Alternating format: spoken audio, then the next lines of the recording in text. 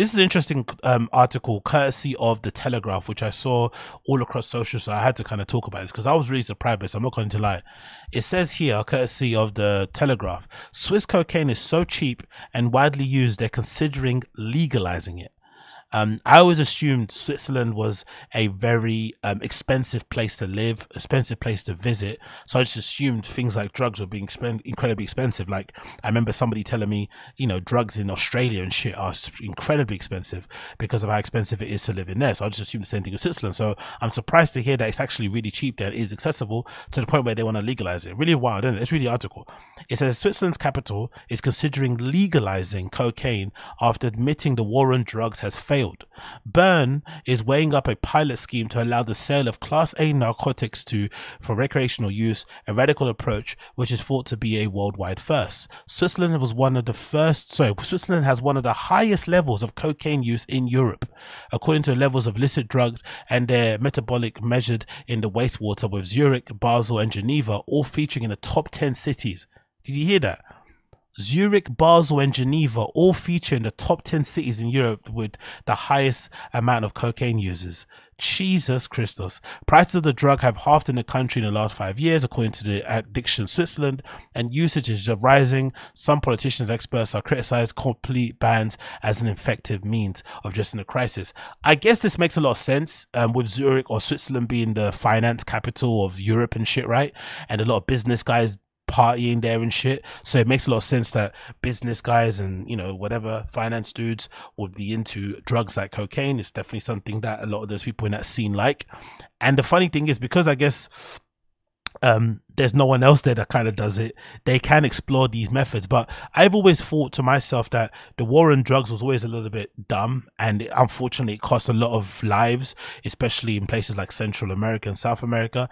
And the really way to kind of eliminate the war on drugs and to kind of make sure people, you know, aren't dying, um, un, you know, in unfortunate circumstances because of people's, you know, desire to get that drug flipping smuggled into parts of Europe, would be to legalize it, especially the same way that Portugal have done it, because I think Portugal's way of doing legalization is essentially saying anything up to 3.5 grams is for personal use. And essentially kind of, you know, takes away all the need of, you know, people violence, all that sort of shit, because it's, I wouldn't say it's, I think, I think that's what it is. It's kind of legalized and not legalized. And it kind of, you know, allows people to buy stuff um safely um and obviously get stuff tested and whatever it may be. And that might be the best way to kind of deal with these situations. But i'm legitimately shocked more so that Switzerland is that high up the list because I always assumed the UK would definitely be far up the list in terms of cocaine use, especially on a daily basis. Um, it continues here. We have a lot of cocaine in Switzerland, says here, the cheapest prices and the highest quality we have ever seen, and we can get the dose of cocaine for about 10 francs these days, not much more than the price of a beer. So, but that's, that's a bit, um, that's a bit, I don't, I'm not too sure if that's right because what's a dose mean? A dose isn't a gram. Does that mean like a bump or a line? Because if a line is 10 francs that's still quite a lot in it right what um 10 francs 10 francs in pounds is 10 pounds so what it's 9 pounds 33 so a single line of coke in Switzerland is nine pounds. That's still kind of expensive to be fair. To be, you know, I mean, that's not cheap. Um, so it says here the highest, the cities with the highest amounts. Wow, I'm really surprised. I'm not gonna lie the number one city with the highest traces of cocaine in the wastewater. So that's obviously the sewage. Number one is Barcelona. Number two is Zurich. Number three is Antwerp in Belgium. Number two is St. Gallen. I, I, guess that's probably in Belgium as well. Geneva, Switzerland. Bristol, UK. Amsterdam, um, and obviously Basel, Bern, and Dortmund. London isn't even in the top 10. That is surprising. London isn't in the top 10. Wow, that's really surprising.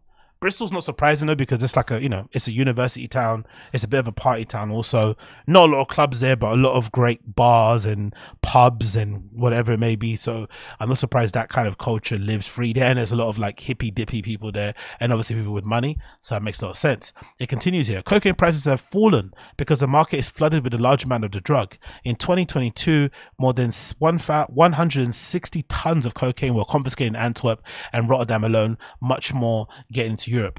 I guess maybe it makes sense why Zurich is so high up in it, especially with it being a port, right? With it being near, near ports and shit. because you think about Barcelona also, right? They have, you know, they're basically surrounded by water essentially, so you can effectively get quite a lot of good shit smuggled in there. That would make a lot of sense. Why all the stuff, even Bristol, Bristol's not really a good example, but I'd imagine all these places, Barcelona, Zurich, Antwerp, St. Gallen, and Geneva, are all probably near decent ports, which is probably why they get a lot of good cocaine in and why the prices are so low because a lot of the good stuff gets through. Yeah, I'm assuming so. Um, while prices have dropped, purity has increased. In Switzerland, 70 to 80% of the substances sold are now pure cocaine. Jesus Christ. 70 to 80. Which is definitely not how it is in the UK. Even weed in the UK is fucking boshed and smashed a bit. So, you know, I'd, I'd say in the UK, even if it was weed, you're probably 50 50 in terms of um, purity really are. And the guys that do sell good weed are definitely the ones that are in demand and they charge the most because, you know, they're the ones that don't fuck about with their product the most. But anything in the UK you get, especially in London, is bashed to shit. But because there's no other options, you just buy it anyway. So you overpay for drugs here and the quality is terrible um, unfortunately, from what I've heard. Um, legalization can do uh, many European countries, including Spain, Italy, and Portugal, no longer impose prison sentences for possession of cocaine, which is highly addictive, but nowhere has gone as far as legalizing it. The plan will require existing national law banning recreational use of the drug to be changed, but Bern's parliament supports the scheme, which could follow trials underway to permit the legal sale of cannabis. The war on drugs has failed, the quote says, and we have to look at new ideas, says Eva Chen, the member of Bern um, Alternative alternative left party control and legalization can do better um, than re- mere repression. I definitely agree with that. 100% agree with that. And of course, look at this. Britain has the worst cocaine habit in the UK. Cocaine use in the last 12 months among people aged 15 to there's 64 year olds doing coke. That's when you know your life is bleak, in it. If you're still doing bumps at home at 64, fuck, that's bleak, in it. So anyway, um, the top countries: Australia, United Kingdom second, Austria third, Spain fourth, United States fifth, and then that's a strong top five, isn't it? And then you got Ireland, Netherlands, Canada, Croatia, France, and Denmark. That's a strong top five. And if anything, is that also evidence that these are the top two are some of the worst um, tourists as well? No, isn't that also evident? Some of the worst tourists are Australians and Brits, right? And they also happen to be the people who do the most gear.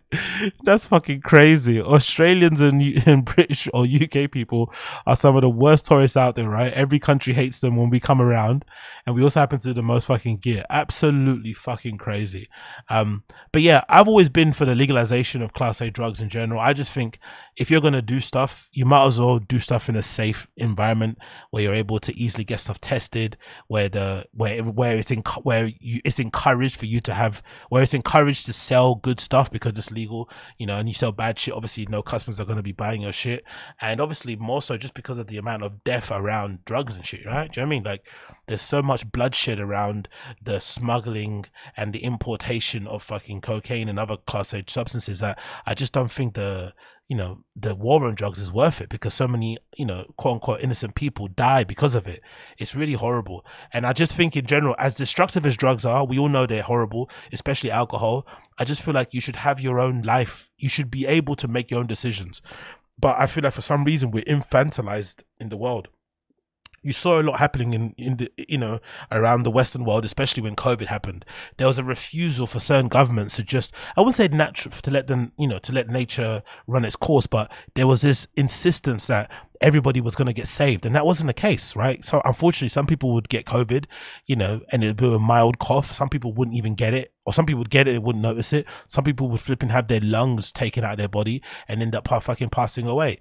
Um, but you couldn't save everyone. Everybody had to kind of take their own risk in their own hands. And I feel like the same thing should be said for drugs. It should all be legalized. And if you want to do it, do it, but you know what the risks are. You know, that basically should be how it should go about. But then I think about the UK and I think about how uncouth and how just crazy we are as a country. And I think if they legalize stuff like coke in the UK, this place will turn into fucking Gomorrah overnight. Like, it's probably the worst thing ever to do in this country. Like, as much as I love this place, as much as I will always fight for my people, legalizing something like cocaine in the UK would be the literal end of us as a civilization it would not be a good idea because we can't even handle our booze, right? We can't even handle going to Wetherspoons and ordering cocktails and shit and fish and chips. Imagine if you were allowed to fucking carry a baggie in your pocket everywhere you went. God almighty, God almighty, this country would literally explode, would literally rip apart at the seams. So maybe it's for the better, um, it's for the best, you know, that these things are illegal, quote unquote illegal, because if you want them, you can obviously still get a hold of them if you, you know, have a little bit of a brain. But I think overall, in the long term, if you do want to win the war on drugs, just legalize everything, man. Legalize it all.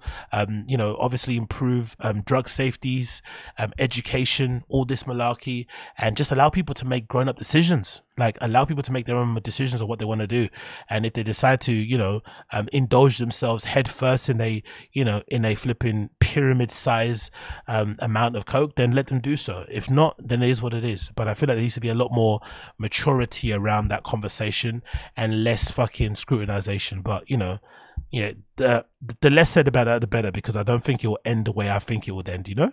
Yeah